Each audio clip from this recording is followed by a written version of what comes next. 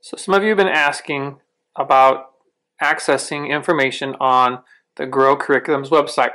So I'm going to give you a quick walkthrough on how to do that. Okay, it's real simple. Open up whatever internet browser that you have and in your address bar type in growcurriculum.org. That will take you to this website that you see right here. Okay, and up here on the top right you see login. So you click on that button and depending upon uh, whether you are children or youth, um, you just type in FBC. In this case, we're going to do children. Uh, for the youth teachers, you will just type in FBC youth. Okay, and then uh, the password, which you should have. I'm not going to say that on here, but uh, it was texted and emailed out to everyone.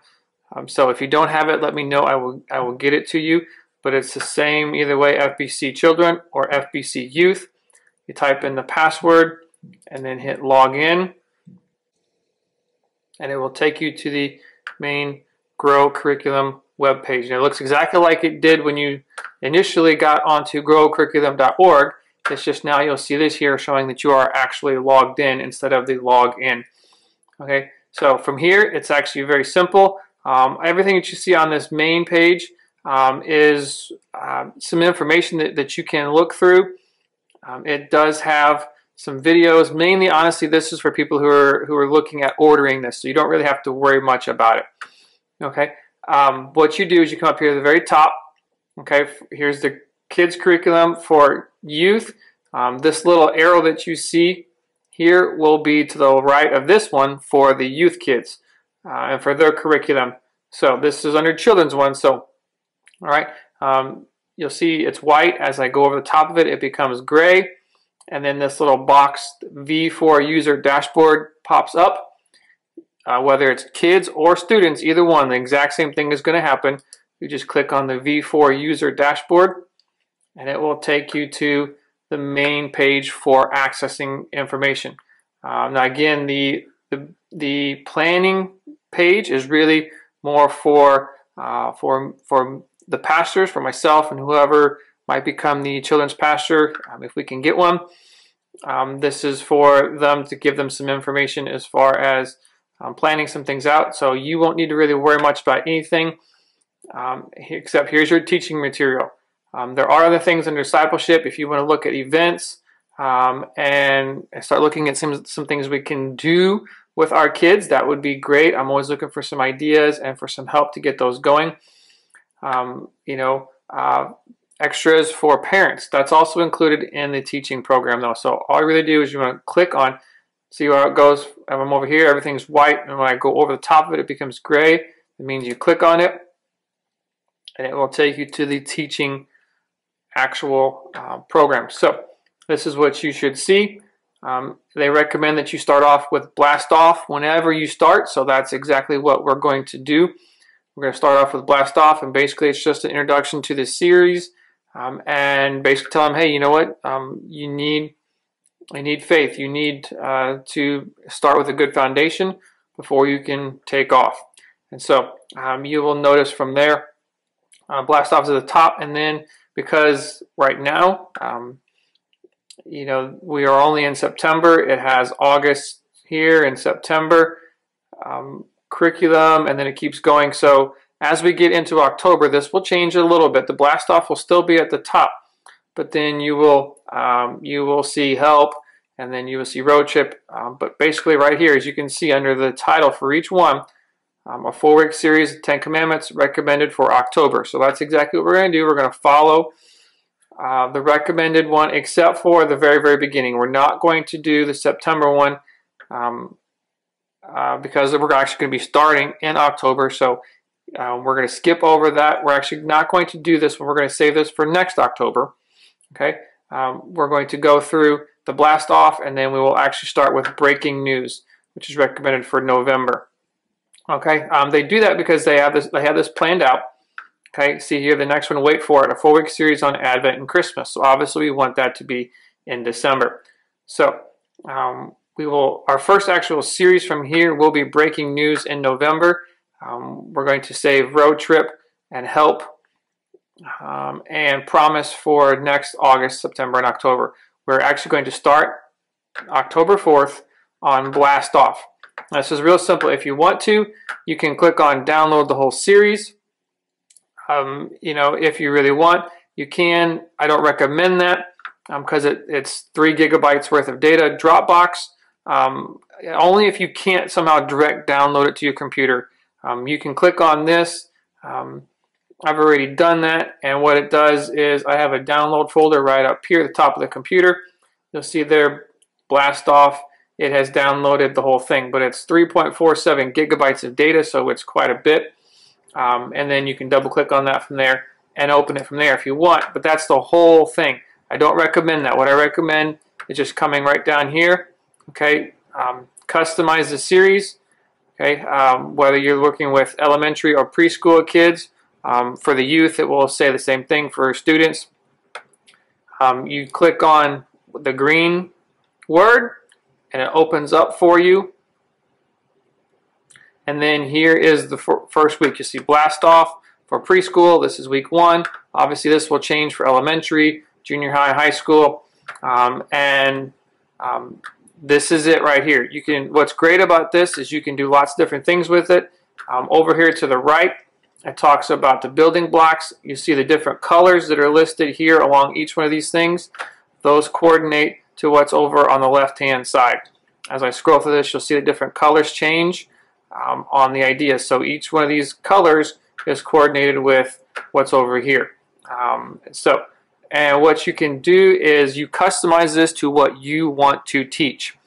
So, um, you know, here's the big idea. We spend time with God, the Bible story, Jesus visit Mary and Martha in Luke 10, and then you just go through this. And, um, you know, what I would honestly recommend is just print. Um, if you can from home, print it. If you want to print it from church, um, that's not a problem. We can do that as well. And then, um, you know, you can cross off what you don't want because basically what you do, you can go through this, and if you want, you can click on this trash can over here, and what it will do is it will delete this. Um, the problem with that is if you do that and then you accidentally somehow click save up here, it's that way for everybody. So if you want to edit this yourself, you can um, you can click on the, the trash can for the things that you don't want and then come right up here and click print but do not save it. So the next person that logs in um, has access to everything.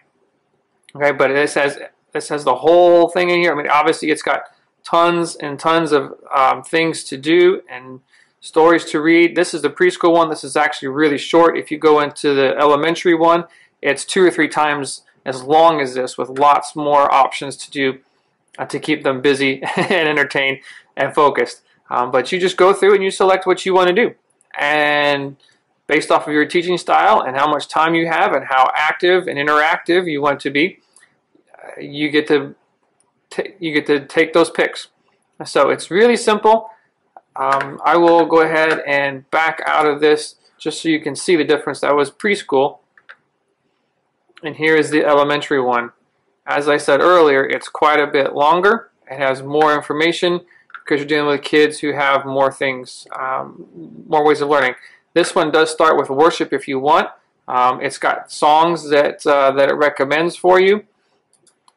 You know, if you want to, you can. It's got links that you can click to actually get access to those songs. Um, but again, the exact same thing. It's it's color coded on the left. So if you're looking for something specific, it tells you what what over here on the right, what color to look for. You can look for that color or you just scroll through slowly and choose what you want and what you don't want. But as you can see, even with elementary, it's quite a bit longer than with preschool. Um, so that's really it. You go through, you select what you want, and that's what you teach from. Not really too hard. Um, and then uh, what I would also recommend, uh, what's great is you can come down here and it's got a email, if you have email address, this is for parents, you can send um, you can send things to parents. Um, if you want, not really, you know, I don't like to send things through email. I really, really don't. Um, but what you can do is, boom, here we go. You click on that. You can download the parent guide. And this is something I would recommend for each one of you to send home with your kids. Okay, you download that, and what it really is is just a guide of what we're going to be talking about. So mom and dad actually have something that they can they can keep, something that they can talk to their kids about when they get home and kind of follow up. Uh, with preschool, this would be difficult because, let's be honest, it's just preschool. But With our elementary kids, our youth kids, um, that will be very helpful for parents to hopefully follow up and get some more conversation with it. So um, it's got a tip, it's got a resource, it's got a question. Um, so great things that are on that page. Okay. Um, so that is under the email parents and volunteers right under there. So that's really it. Um, the only thing I will show to you if you're interested, um, I'm going to try to do this because this is my phone, okay? Um, if you have a smartphone of any kind, okay, you can download the Grow app. It's right here. Um, it's really hard to see on that, isn't it? Um, it basically just says Grow in gray letters with a green little, uh, looks like leaf, trying to get it to actually focus on the camera and it's not really wanting to so I apologize um, but you can download the Grow app. I'm not really a big fan of it. I'll show you why. If you open it up um, you can go to the exact same series um, but basically with this um, all it really has is it has a conversation guide. So you can see the same thing. We can spend time with God the same Bible verse but then it has um, a conversation and questions. So there's not really a whole lot to it um, on here.